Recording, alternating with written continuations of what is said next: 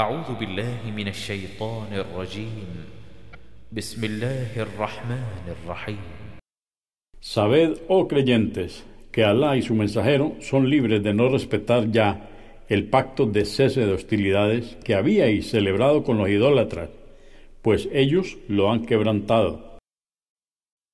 Os concedemos solo cuatro meses, oh idólatras, durante los cuales podréis transitar con seguridad en la tierra, para reflexionar y arrepentiros de vuestra incredulidad, o para alistaros para la partida, y sabed que luego de esto no podréis escapar del castigo de Alá, y que Él humillará a los incrédulos. Alá y su mensajero anuncian a los hombres el día más importante de la peregrinación, el día del sacrificio, que Alá ya no tiene ningún pacto con los idólatras, ni tampoco su mensajero.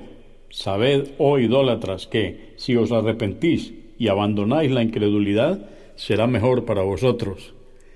Pero si os rehusáis, no podréis escapar del castigo de Alá, y anúnciales a los incrédulos, oh Mohammed, que recibirán un doloroso castigo. Esta proclama es para todos los idólatras excepto para aquellos que no quebrantaron los pactos que habéis celebrado con ellos, ni apoyaron a nadie contra vosotros. Respetad, pues, el pacto convenido con ellos hasta su plazo acordado. Ciertamente Alá ama a los piadosos. Mas cuando hayan pasado los meses sagrados, Muharram, Rayab, Dulquada y Dul en los cuales se os ha vedado el combate armado. Matad a los idólatras donde quiera les halléis, capturadles, cercadles y tenderles emboscadas en todo lugar. Pero si se arrepienten y aceptan el Islam, cumplen con la oración prescrita y pagan el zakat, dejadles en paz. Ciertamente Alá es absorbedor, misericordioso. Si alguno de los idólatras te pidiera protección, ampárale para que así recapacite y escuche la palabra de Alá. Luego, si no reflexiona, ayúdale a alcanzar un lugar seguro. Esto es porque son gente ignorante. ¿Cómo podrían Alá y su mensajero respetar un pacto celebrado con los idólatras, siendo que ellos no dudaron en combatiros? Pero si aquellos con quienes habíais pactado anteriormente junto a la mezquita sagrada en la Meca cumplen lo pactado, cumplidlo vosotros también. Ciertamente Alá ama a los piadosos. No puede tenerse en cuenta un pacto con ellos, siendo que si os sometieran, no tendrían compasión, ni respetarían lazo familiar ni pacto alguno. Quieren agradaros con sus palabras, pero sus corazones os rechazan, y la mayoría de ellos son perversos. Estos cambian los signos de Alá por un vil precio y apartan a los hombres del sendero de Alá. Qué pésimo es lo que hacen. No respetan pacto alguno con los creyentes, ni aunque sean sus parientes. Estos son los verdaderos transgresores. Mas si se arrepienten de su idolatría y aceptan la fe, cumplen con la oración prescrita y pagan el zakat, entonces perdonadles y sabed que ahora son vuestros hermanos en la religión. Así es como explicamos detalladamente los preceptos a quienes los comprenden y los ponen en práctica. Y si quebrantan sus juramentos después de haber celebrado un pacto e insultan y combaten vuestra religión, combatid entonces a los líderes de la incredulidad para que dejen de agrediros, pues para ellos no existen los pactos. ¿Acaso no combatiríais a quienes faltan a sus juramentos y planean la expulsión del mensajero? ¿Y ellos son los que comenzaron primero a combatiros? ¿Acaso les teméis? Sabed que Alá es más digno de que le temáis, si es que sois creyentes. Combatidlos, pues Alá los castigará a través de vuestras manos, les humillará, os concederá el triunfo sobre ellos y curará así los corazones de los creyentes, purificándolos del rencor que hay en ellos. Ciertamente Alá acepta el arrepentimiento de quien le place, y Alá es omnisciente, sabio. ¿Acaso creéis que no se os pondrá a prueba cuando Alá quiere que se evidencie quienes combaten verdaderamente de vosotros por su causa y solo toman como aliados a Alá, a su mensajero y a los creyentes? Ciertamente Alá está bien informado de lo que hacéis. No les corresponde a los idólatras frecuentar las mezquitas de Alá mientras sigan en su incredulidad sus obras serán en vano y sufrirán eternamente en el infierno. Solo deben frecuentar las mezquitas de Alá aquellos que creen en Él en el día del juicio, practican la oración prescrita, pagan el zakat y no temen sino a Alá. Ciertamente, estos son quienes verdaderamente siguen la guía. ¿Acaso creéis, oh incrédulos, que quienes proveen agua a los peregrinos y quienes se encargan del cuidado de la mezquita sagrada son iguales que aquellos que creen en Alá en el día del juicio y luchan por la causa de Alá. Sabed que éstos no se equiparan ante Alá y que Alá no guía a los inicuos. Los creyentes que emigraron contribuyeron por la causa de Alá con sus bienes y combatieron tienen un grado muy elevado para Alá, y son estos los que triunfarán. Su Señor les albricia que serán recompensados en la otra vida con su misericordia, su complacencia y con jardines en los que disfrutarán permanentemente. Vivirán por siempre en ellos. Ciertamente Alá les tiene reservada una recompensa grandiosa. Oh creyentes, no sigáis a vuestros padres y hermanos si éstos prefieren la incredulidad en vez de la fe. Quienes de vosotros lo hagan serán inicuos. Diles, oh Mohammed, si vuestros padres, hijos, hermanos, esposas y familiares, los bienes que hayáis adquirido, los negocios que temáis perder y las propiedades que poseáis y os agraden, son más amados para vosotros que Alá, su mensajero, y la lucha por su causa? Pues entonces esperad que os sobrevenga el castigo de Alá, y sabed que Alá no guía a los corruptos.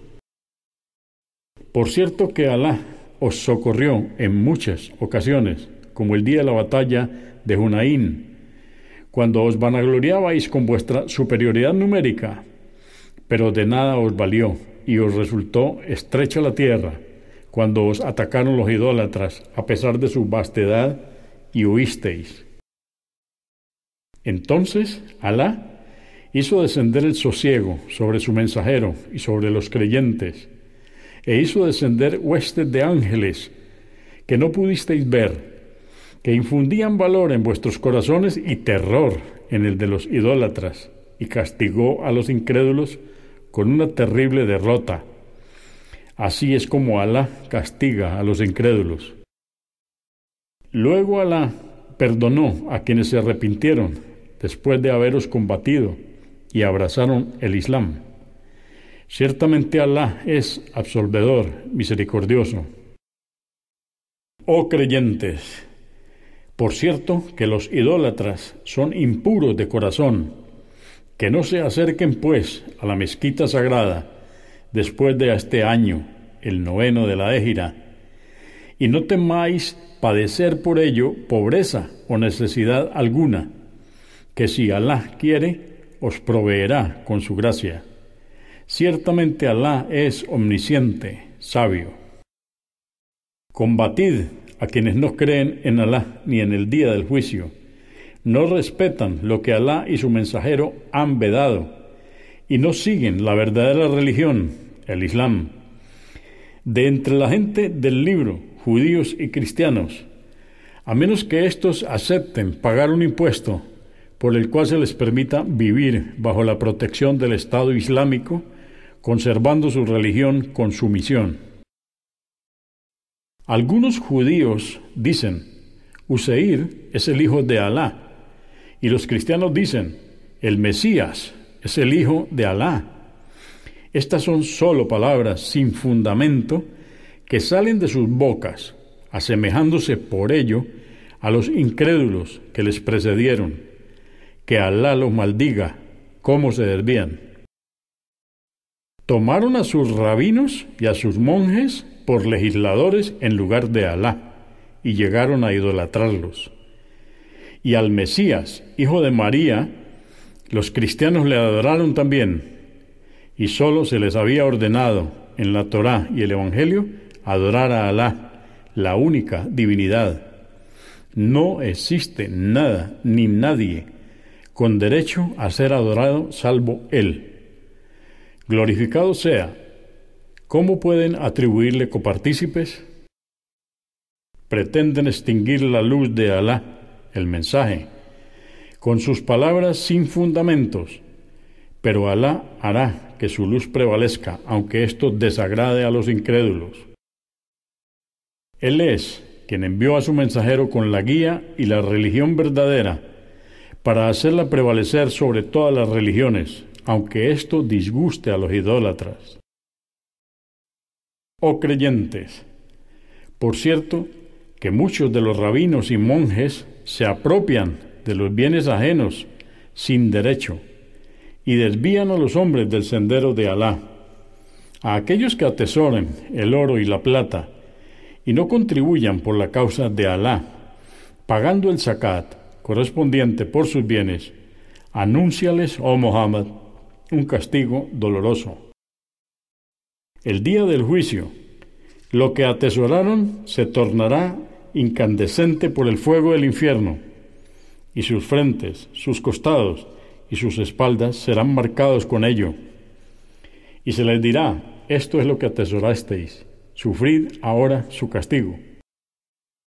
Ciertamente que el número de meses para Alá es doce, porque así Él lo decretó el día que creó los cielos y la tierra. De ellos, cuatro son sagrados, Muharram, Rayab, Dul Qada y Dul Hijjah. Así está establecido en la religión verdadera no obréis pues en contra vuestra, desobedeciendo a Alá, y combatid a los idólatras, así como ellos os combaten, y sabed que Alá está con los piadosos. Por cierto, que cambiar los meses sagrados es acrecentar aún más la incredulidad, pues los incrédulos los cambiaban a conveniencia para poder combatir en ellos. Así se extraviaron los incrédulos. Un año lo declaraban al combate lícito en determinados meses, mientras que en otro no, pero siempre hacían que el número de meses sagrados fuera cuatro para que de esta manera coincidiera con el número de meses que Alá había decretado que fueran sagrados. Por cierto, que declararon lícito lo que Alá había vedado. A estos Satanás les hizo ver sus malas obras como buenas y sabed que Alá no guía a los incrédulos. Oh creyentes, ¿por qué cuando se os ordena combatir por la causa de Alá os aferráis a la vida? ¿Es que preferís la vida mundanal a la otra? Sabed que los placeres mundanos, en comparación con los de la otra vida, son insignificantes. Si no salís a combatir, os azotará un castigo doloroso en esta vida y en la otra. Y Alá os sustituirá por otro pueblo que socorrerá al profeta y combatirá por su causa. Y sabed que no perjudicaréis a Alá en nada si os negáis a combatir, pues Alá tiene poder sobre todas las cosas. Si no lo socorréis al mensajero, sabed que Alá no necesita de vosotros pues ya lo auxilió aquella vez que los incrédulos lo expulsaron de la Meca. Cuando estando en la caverna con su compañero Abu Bakr le dijo, no te entristezcas, pues Alá está con nosotros. Entonces Alá hizo descender su sosiego sobre él. Abu Bakr le socorrió con un ejército de ángeles que no veían y dispuso que el propósito de los incrédulos se desvaneciera y que el mensaje de Alá sea el que prevalezca. Ciertamente Alá es poderoso, sabio. Salid a combatir, sea cual fuere vuestra condición, contribuid por la causa de Alá con vuestros bienes y luchad, pues, ello es mejor para vosotros si supierais. Si hubiera sido por algo mundano fácil de conseguir o un viaje breve, te habrían seguido. Pero la distancia en la batalla de Tabuk era muy larga y por ello se negaron a salir a combatir. Juraron por Alá que si hubiesen podido habrían salido con vosotros a luchar. Se destruyeron a sí mismos, quedándose y pretendiendo excusarse por ello, pero Alá sabe que mienten. Alá te disculpó, oh Mohammed, por haberles eximido sin antes corroborar quiénes eran veraces y quiénes mentirosos. En cambio, aquellos que creen en Alá y en el día del juicio no se excusan para que les eximas de la obligación de contribuir con sus bienes y combatir, como lo hacen los hipócritas, y Alá bien sabe quiénes son los piadosos. Ciertamente, quienes pretenden evadir el combate no creen en Alá ni en el día del juicio. Sus corazones están llenos de duda y por ello vacilan. Si los hipócritas hubieran querido realmente combatir, se habrían preparado para tal fin, pero Alá no quiso que salieran con vosotros y les infundió desgano y se les dijo, permaneced con quienes se quedan por estar verdaderamente eximidos. Si hubieran salido a combatir, os habrían confundido, sembrando la discordia, pues entre vosotros hay quienes prestan oído a lo que dicen, pero Alá bien conoce a los inicuos y os previene de ellos. Ya antes pretendieron sembrar la sedición, cuando arribaste a Medina, oh Muhammad, y quisieron desvirtuar tus propósitos, hasta que llegó el socorro de Alá y triunfó su religión que a ellos tanto les disgusta. Entre ellos, los hipócritas, hubo quien te dijo, oh Mohammed, permite quedarme y no me expongas a la tentación, pues si veo a las mujeres del pueblo que combatiremos, no podré resistirlo. ¿Acaso no cayeron en la sedición al negarse a combatir? Ciertamente el infierno acorralará a los incrédulos. Si obtienes una victoria, se apenan, y si eres derrotado, dicen, nosotros estábamos prevenidos, y por ello no participamos del combate, y se marchan contentos. Diles, oh Muhammad, no nos acontece más que lo que Alá decretó para nosotros. Él es nuestro protector, y a Alá se encomiendan los creyentes. Diles a los hipócritas, Sabed que sólo pueden sucedernos dos cosas buenas, la victoria o el martirio. En cambio a vosotros, o bien Alá os enviará un castigo, o hará que os derrotemos. Aguardad, pues, vuestro destino, que nosotros aguardamos el nuestro. Diles, oh hipócritas, toda caridad que hagáis de buen o mal grado no os será aceptada pues vosotros estáis desviados.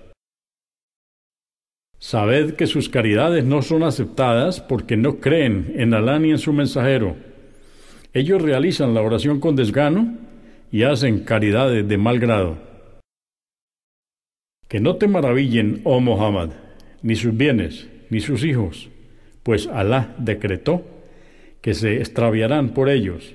Así quiso castigarles en esta vida y que mueran en la incredulidad. Juran por Alá que son de los vuestros, cuando en realidad no lo son, y solo son unos cobardes. Si encontraran un refugio, una caverna o algún escondite, se dirigirían hacia allí presurosamente para ocultarse y no combatir. De entre ellos, los hipócritas, hay quienes critican cómo repartes las caridades, oh Muhammad. Si les das de ellas lo que pretenden, quedan satisfechos, pero si no lo haces, se molestan. Mejor sería que se conformasen con lo que Alá y su mensajero les dan y dijeran, nos basta con Alá, y Alá nos concederá de su favor y también su mensajero. Ciertamente anhelamos que Alá nos agracie. Ciertamente que el zakat es para los pobres, los menesterosos, los que trabajan en su recaudación y distribución, aquellos que, por haber mostrado cierta inclinación por el Islam o haberlo aceptado recientemente, se desea ganar sus corazones, la liberación de los cautivos, los endeudados, la causa de Alá y el viajero insolvente. Esto es un deber prescrito por Alá y Alá es omnisciente, sabio. Entre ellos, los hipócritas, hay quienes critican al profeta y dicen, es todo oídos, y acepta todo lo que le dicen, pero ello es para vuestro bien. Él, el profeta Muhammad, cree en Alá, confía en la palabra de los creyentes, y es una misericordia para quienes verdaderamente creen de vosotros. Y quienes hostiguen al mensajero de Alá recibirán un castigo doloroso. Un grupo de hipócritas os juran por Alá con el fin de complaceros, que no querían molestar al profeta. Estos deberían saber que Alá y su mensajero tienen más derecho a ser complacidos si fueran creyentes. ¿No saben acaso que quien se enfrente a Alá y a su mensajero estará perpetuamente en el fuego del infierno? Esto será una terrible humillación. Temían los hipócritas que una sura o capítulo como esta, que ponga en evidencia lo que hay en sus corazones, fuese revelada.